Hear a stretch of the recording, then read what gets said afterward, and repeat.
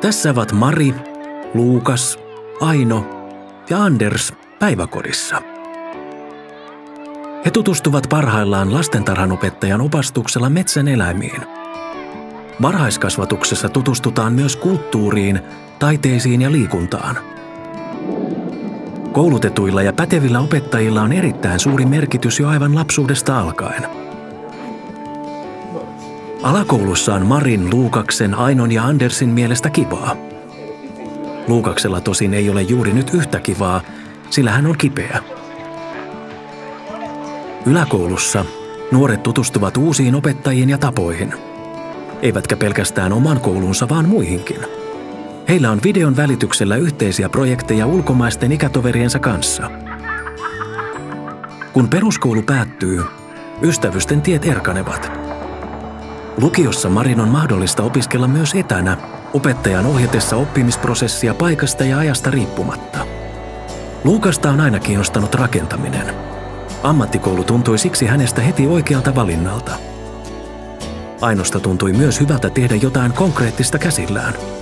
Hänestä tulisi maalari. Anders. No, Anders haluaa oppia surffaamaan. Niinpä hän sitten surffaa. Lukion aikana Marille on selvinnyt, mitä hän haluaa. Mari pääsee yliopistoon ja hänestä tulee lääkäri. Häntä opettavat huippuopettajat Suomesta ja maailmalta. Luukas taas haluaa syventää opintojaan ammattikorkeakoulussa. Surffaaminen on kivaa, mutta Anders ei aio surfata koko elämäänsä. Hän on päättänyt suorittaa aikuisopiskelijana lukion ja miettiä samalla, mitä sitä elämällään tekisi. Aino on saanut ammattikoulun käytyä ja on jo vahvasti työelämässä kiinni.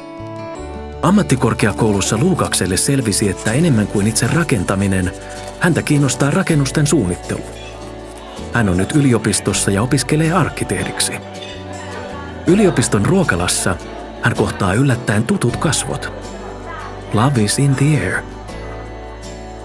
Anders on tällä välin kurssittanut itseään ahkerasti aikuiskoulutuksen kautta ja hän on työharjoittelussa päiväkodissa.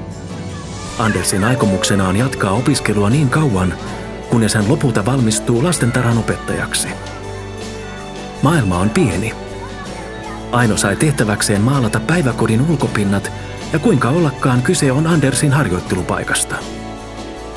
Olet juuri todistanut Marin, Luukaksen, Andersin ja Ainon oppimiskaarta.